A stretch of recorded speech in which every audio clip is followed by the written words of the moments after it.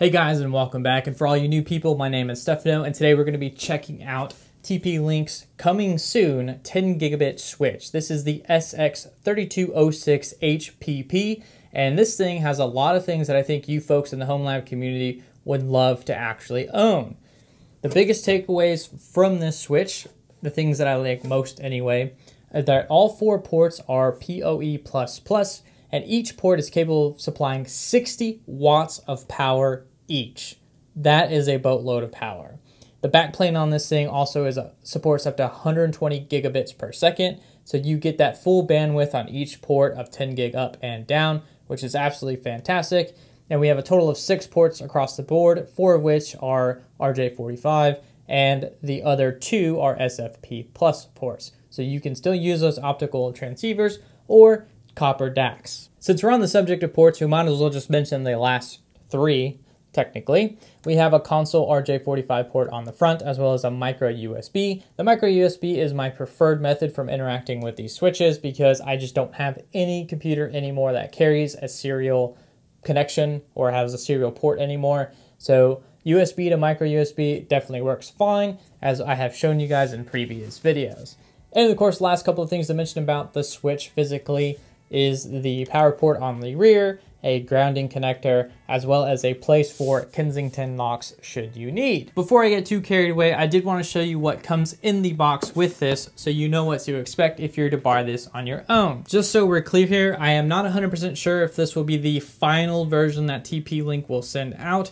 I do not know if this is actually a review sample, if this is an engineering sample or what, but this is an early released product that is not yet available to everyone. So that is why it's important to show you guys what's in the box. And in the box, of course, which is really cool about this specific unit, is the fact that it comes with a rack mountable option. They provide us with rack mount ears, screws, and feet should you want to, or should you choose to sit this on your desk. Of course, we have that RJ45 to console uh, cable, and as well as a power connector as well, or power cable, whatever you would like to call it. Last but not least, included in the packaging is the installation guide, always important and nice to have. With that out of the way, let's go ahead and crack this thing open so we can see exactly what is going on on the inside. Check out to see if those fans are replaceable for those of you that want to have this on your desk and are interested in knowing if they can be replaced, um, as well as just seeing what's inside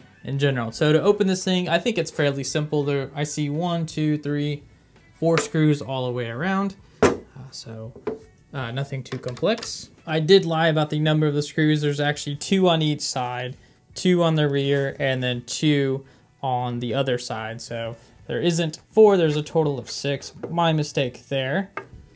But with the last screw finally being removed, we can have a look at what is on the inside. Like most TP-Link devices, you simply pull back on the lid and lift it away, and then you get direct access to the device itself. Wow, it's got that brand new electronic smell.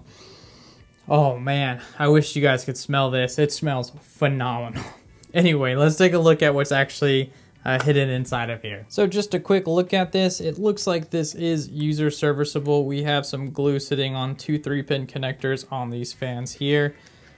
Um, these look like they might be smaller than 80 millimeter from a pretty reputable brand. These are 1.44 watt fans, which is cool. One of these is probably the CPU, not sure which one, but looks like we have power coming here from our power supply. Really cool to see the power supply is inside of the case and not some power adapter on the exterior of the case. This looks very well built. I am not an electrical engineer by any means, but from what I have seen in many power supplies, this looks like pretty high quality stuff in here. But again, I'm not an expert. I'm just going off of looks here. Oh, there's some kind of bridge or something. I wonder what this is all for. Interesting. One last quick look around. Try to get some good quality shots on these chips as I shake the camera to no end. Sorry, I'm a bit uh, unstable in my hands. I don't have that good grip. Or I guess my grip is fine, I just don't have steady hands. Man, I really miss my old freaking screwdriver. I'd love to get that back. All right, now with this reassembled, let's go ahead and get it plugged in and I will show you guys how quiet this is and why I believe this will be a great candidate for your desk at home. Now, of course, we don't know what the price is, so that could make this a very um, not so good candidate if it's very expensive, but it is quiet enough to sit on your desk, I believe. And of course, if it's still too loud, you can, or at least it looks like you can replace those two fans inside of here. But enough talking, let's get to it. Okay, so initial boot wise, or was as this thing boots on, it is actually quite loud. And it does eventually quiet down. So you guys should be able to hear it right now. If this was sitting on the desk at this noise level, personally, it wouldn't bother me, but I know a lot of people are a lot more sensitive to noises uh, than I am. But I think in the long run, this is still just too loud, but this is during the boot up process.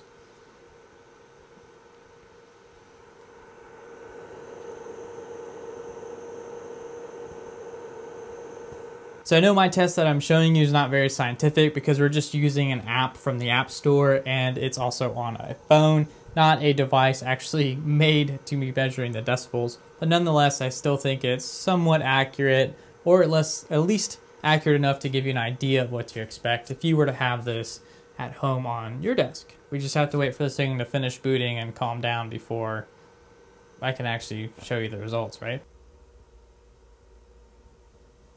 So evidently at this distance, while still booting, we are sitting at about 40 decibels.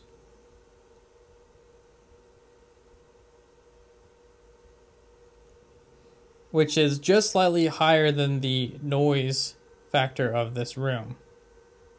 Or noise floor of this room.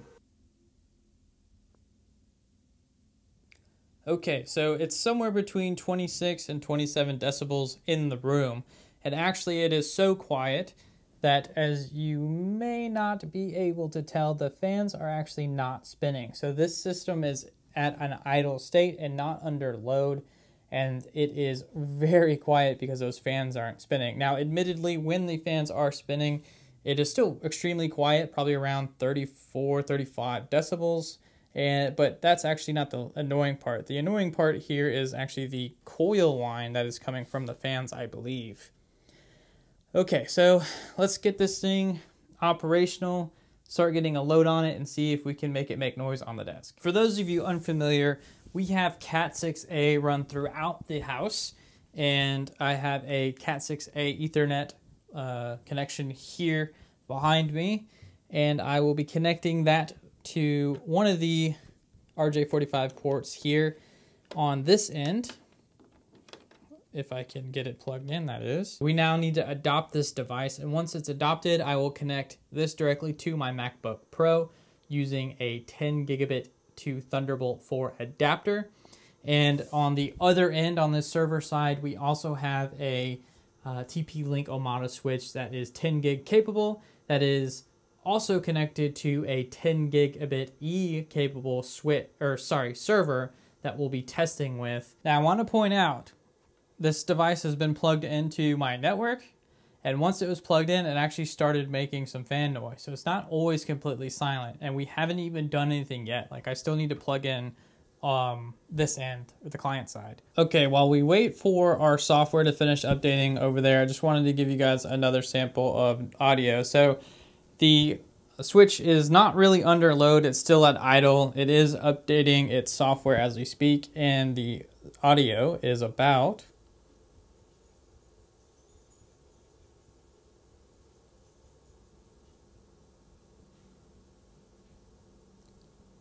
32 decibels, which I believe is the noise floor of the room itself.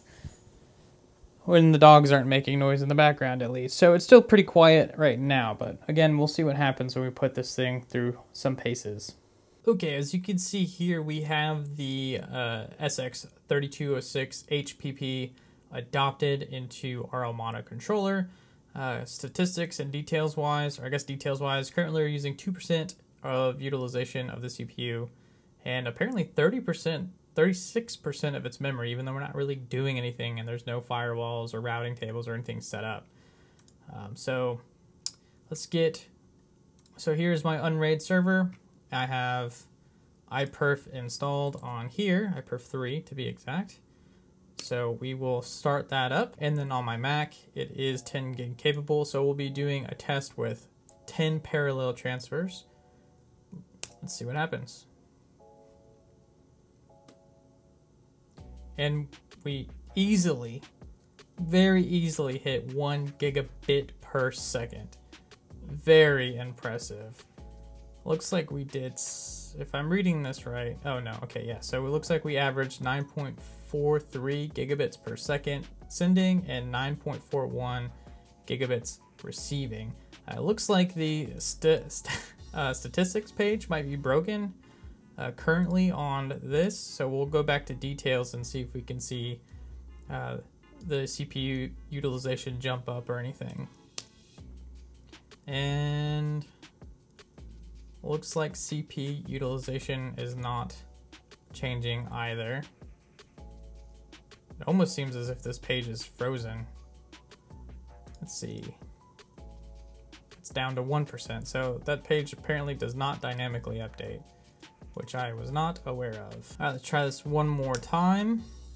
We're looking at a dedicated statistics page within the Omada controller. Um,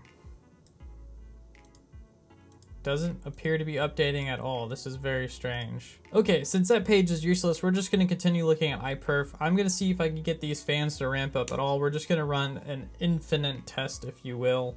And I don't know what will give out first, the heat on my Intel uh, 10 gig card or the uh, adapter I'm using for my MacBook Pro. Will those overheat and eventually slow down? Or will the 10 gig switch finally spin up a little bit louder than it currently is. I don't even know if you guys can hear the switch. It's just off to my left off camera.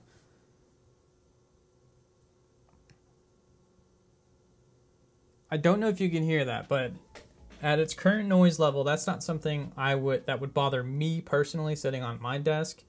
Um, although I can understand, you know, people are definitely a lot more sensitive to noise. Um, if I had my headphones on, I don't think I'd hear that at all. And we are approaching the 10 minute mark since I've restarted the test over and over and over, so it's not exactly continuous. But I've observed no change in noise level anyway. If it's not getting any louder by now, I doubt it will, unless it's getting hit on all ports at the same time. But unfortunately, that's um, not something I'm going to be able to do with my limited amount of hardware. So let's get this thing rack mounted and uh, we'll check out a couple more things on the Omada software controller just to see what we can glean from this switch currently.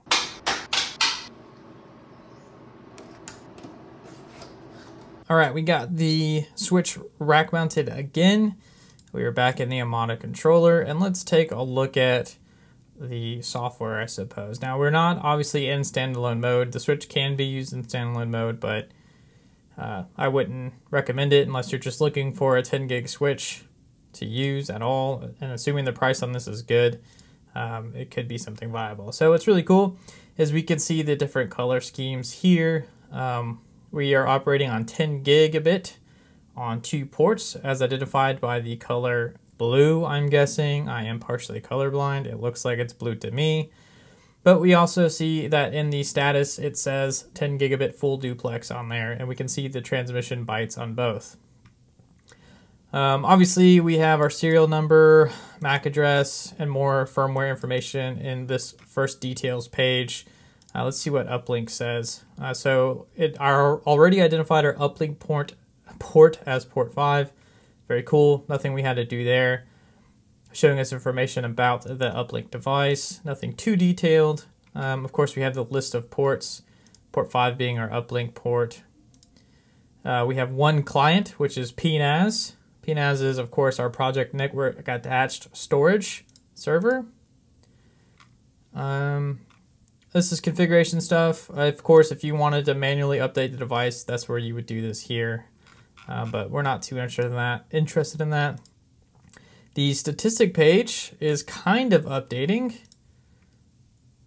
but not really. It started to draw there. I'm wondering if that's an issue with Firefox or maybe a bug in the software. Don't know.